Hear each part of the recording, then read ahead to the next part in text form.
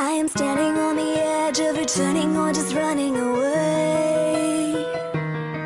I am letting myself look the other way.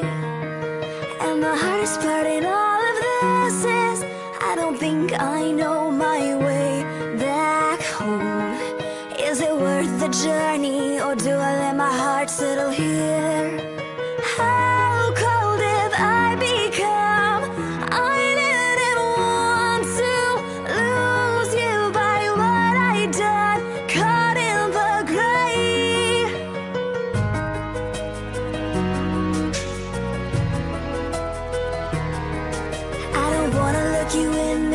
Eyes, you might call me away.